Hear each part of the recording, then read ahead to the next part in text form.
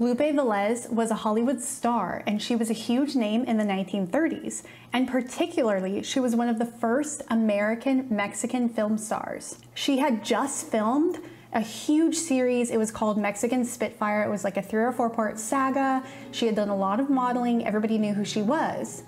And yet, in her 30s, she was found dead of an apparent suicide in her huge Beverly Hills mansion. On the hours previous to her death, Lupe went on a shopping spree and then prepared a spicy Mexican dinner. Then she went to her bedroom, filled with ceramic saints, flowers, and rosaries. She lit candles all over the bedroom. She did her makeup perfectly and put on her best silk pajamas. Then she proceeded to take a deadly amount of sleeping pills. She lied on her bed and waited for death to catch her in her dreams. While waiting for the final hours of rest, with the saints and their shadows as the only witnesses, Lupe, who probably was thinking about how beautiful she will look when people find her, suddenly had a horrible stomach ache because the pills mixed with the enchilada dish she just had. She got up and ran to the bathroom, a trail of vomit leading behind her. Suddenly, she was unable to walk properly and she stumbled in the bathroom, hit her head on the toilet, and drowned to death in the toilet water. Wait, actually, none of that is true completely false. In this episode, I'm going to dissect the truth and tell you what really happened in Lupe's passing, dissect this urban myth and figure out where it even came from, and also celebrate her life and tell you a little bit about who Lupe Velez truly was. Maria de Guadalupe Velez was born in San Luis de Potosi, Mexico, on July 18, 1908. She was the daughter of a military man named Jacobo Villalobos Reyes and Josefina Velez, an opera singer. Lupe was raised in a bourgeois family that suffered an economic decline after the Mexican Revolution. Velez's father joined the fight and, according to her, often took his daughter on dangerous outings. Lupe herself talked about all the time that she did not have a normal childhood. Lupe had seen people fight, get shot, and die before. And she talked about this a lot. She talked about how it's something that really left an imprint on her psyche. She said, When your American kids go to kindergarten, I am riding with my father in the Mexican army. I see the horse of my brother shot beneath him. I see many men try to kill my father. I see my father kill other people. It is my first school, the revolution. I do not cry. I do not have goosebumps on my flesh. I do not have fears of the bullets. According to Velez's biographer, Michelle Vogel, besides being traumatized by the violence she witnessed during the revolution, from a very early age, Velez has a naturally stormy personality. She was emotionally unstable, one minute being hilarious and charismatic, and then dramatically changing to a depressive or vicious mood. As she entered her teenage years, her family sent her to a convent school in San Antonio, Texas. There, she continued to be rebellious, spending hours writing, I must be good, over and over as punishment for her latest mischief. After a while in the convent, Lupe was called home. Her family was going through a crisis. Her father had been presumed dead in the war, and their wealth significantly decreased. While most of her family members were too proud to get jobs, a teenage Velez did just that, supporting her family by working as a saleswoman in a department store. So Lupe, at a very, very young age, decided to become a performer to help her parents and her family pay for their life. Soon Lupe was performing to sold out crowds in her city.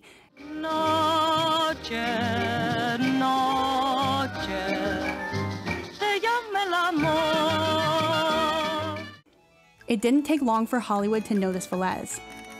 In 1927, The Gaucho was released. Her performance thrilled moviegoers, critics, and studios alike. As soon as the film industry switched from silent film to talkies, the studios started cast typing Lupe in very stereotypical racist roles. They tried to accentuate her Latina identity and impose roles on her where she had to speak in thick, broken English, among other things. That sprint, ladies and gentlemen, was won by the Mexican team, Cortez of Villanova. Mexican team, come on, Villanova! Come on, Cortez! Cándale, métale, métale, ándale! I was afraid of that. Come on, Cortez! Now listen. In the press, she was pitted against Hollywood's only other female Mexican star, the quote, high class and elegant Dolores Del Rio. Despite Lupe's origins, she was painted as a poor commoner. One racist critic went so far as to say that Lupe Velez has no more dignity than a common street donkey. There were a lot of rumors about Lupe's love affairs and relationships, more so than almost anyone I've ever read about or seen from the 1920s and 30s. In particular, with Lupe Velez' romantic past and her temper, I can't tell from what I found what is real and what's fiction. So, in the last few years of Lupe's life, she had this really hard juxtaposition to struggle with.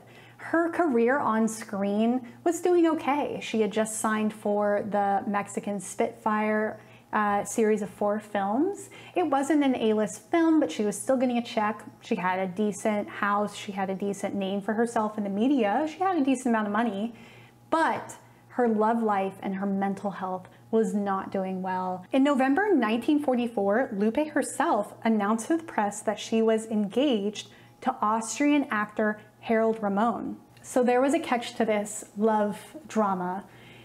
It's that Lupe Velez was pregnant and she was a devout Catholic. Almost as soon as Lupe announced the engagement, it was called off because he refused to marry her. So at the time, she was pregnant, and Harold was allegedly the father of the baby. But there are other theories of who the father was. I've heard it floating around, but Lupe herself confirmed Harold was the father. So here's the official story of Lupe Velez's death. On December 13, 1944, she had dinner with two friends. Her first friend left and then her other friend Estelle stayed with her until around 3:30 in the morning. Estelle later claimed that Lupe confessed to her that she was with child and she did not feel like carrying on or living life anymore. Estelle also claims that Lupe said the only thing she was getting scared of was life itself. So on the morning of December 14th, 1944, Beulah Kinder, who was Lupe Velez's friend and hired secretary, walked in on Lupe Velez's dead corpse. But she had her head on a blue satin pillow, and she had her hair, her newly dyed blonde hair strewn about, and she had her hands on her chest, the bottle of sleeping pills. A police officer who was the first on the scene also said that she looked like a living doll and she looked too small for her giant bed. Lupe's reason for taking her life, along with the life of her womb, was mainly because the baby's father, Harold, refused to marry her. She felt absolutely betrayed and alone, in a mess that was going against her religious beliefs and could potentially ruin her entire career. Everything I've read says that there were two suicide notes that Lupe left, tucked in between her gorgeous satin blue pillow. One was to Harold Ramond, and the other was to Beulah Kinder, her secretary and friend. One of the letters said, May God forgive you and forgive me too, but I prefer to take my life away and my baby's before I bring him shame or kill him. How could you, Harold, fake such a great love for me and our baby when at all the time you didn't want us? I see no other way out for me, so goodbye and good luck to you. Love, Lupe. The other letter was addressed to Beulah Kinder, and it said, My dear friend, you and only you know the facts for the reason I am taking my life. May God forgive me and not think bad of me. Take care of your mother, so goodbye and try to forgive me. Goodbye to all my friends and the American press that were always very nice to me. It was a clear scene, very clear motive, but that did not stop sensationalist journalists to come up with their own version of Lupe's death to fit the racist narrative that they had built up since the early days of her career. So, first, right after the suicide, journalists jumped into Lupe's reason and judged her for not wanting to be a single mother which is a bit ridiculous because Beulah Kinder said that her and Lupe were talking, and Lupe even suggested moving back to Mexico, having the child, coming back to America, and adopting her child. There were newspaper headlines that even said stuff like Lupe Velez, a suicide to avoid motherhood, with the subtitle Actress Leaves Pathetic Notes.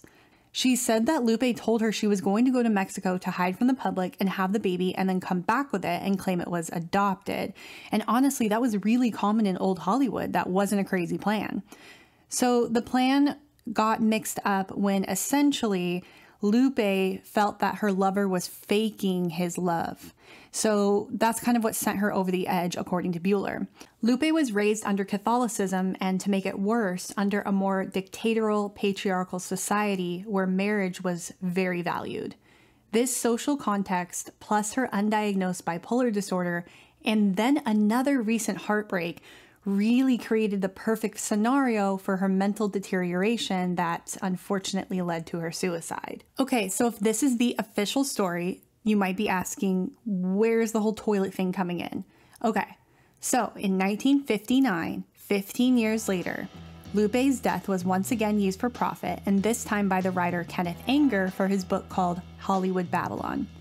So the Hollywood Babylon series is like a serialized, really like lucrative commercial project that Kenneth Anger did to help finance his much less lucrative filmmaking career. It's also important to clarify that Kenneth Anger himself would joke and say that his claim to understanding all of these insider facts was his mental telepathy. Even Kenneth himself never said, like, this is 100% fact. So, what he did was completely rewrite Lupe's ending, Kenneth Anger wrote The bed was empty, the aroma of scented candles, the fragrance of roses almost, but not quite masked, the stench of recalling that was left by Skid Row derelicts. Juanita traced the vomit trail from the bed, followed the spotty track over to the orchard tiled bathroom. There, she found her mistress, Senorita her head jammed down the toilet bowl, drowned. So it is relevant to say that all toilet searches are definitely connected to the Hollywood Babylon books. And then Andy Warhol did a film with Edie Sedgwick, where Edie was loosely playing Lupe Velez, but they were both like like basically Edie Sedgwick was supposed to represent like a giant, like old film star, and it was like loosely based off Lupe and someone who dies what they want to believe is tragically gorgeous, like Romeo and Juliet, but ends on a flat note. In The Simpsons, John Waters guest starred, and in the episode Homer's Phobia, he made a direct reference to Lupe Velez. Ooh. And there's where Lupe Velez bought the toilet she drowned in? Ooh. Another interesting pop culture expression is that there, the Simpsons are driving in the car and they're pointing at different Hollywood sites and they're oohing and awing and taking photos, right? Well, this happened to Lupe's house. And what's really sad is her house became where people would gawk at in the 80s and 90s. It would it was basically a place where people would drive by and be like, there's a girl that died in her bathroom in her toilet.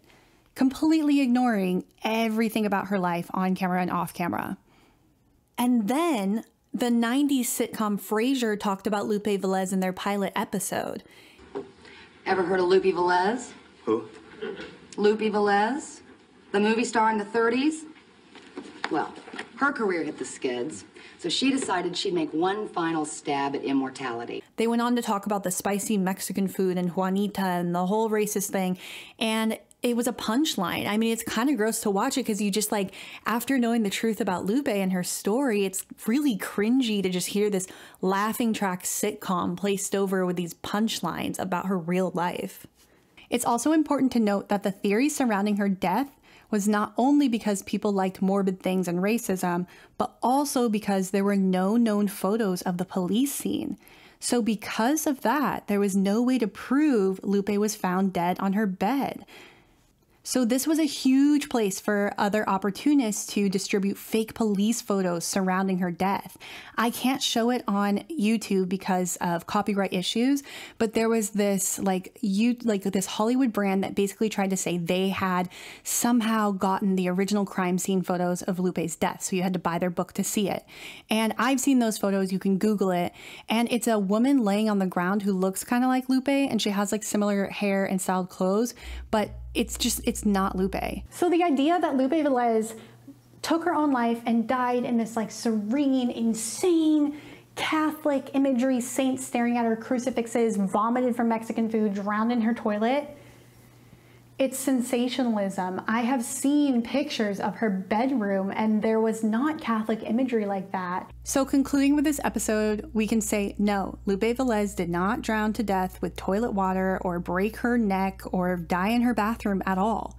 She was the victim of a judgmental society with an undiagnosed mental illness. She deserves the same respect any other person gets when it comes to their death, regardless of what their death was. She was a person with feelings and a life that was cut far too short. If you'd like to hear more about her or even hear about the Dolores Del Rio versus Lupe Velez feud, let me know in the comments below and I will definitely make another video about that. Don't forget to hit the subscribe button down below so I can keep making more videos. Killarney, yes! We literally are the Bing Crosby Christmas classics!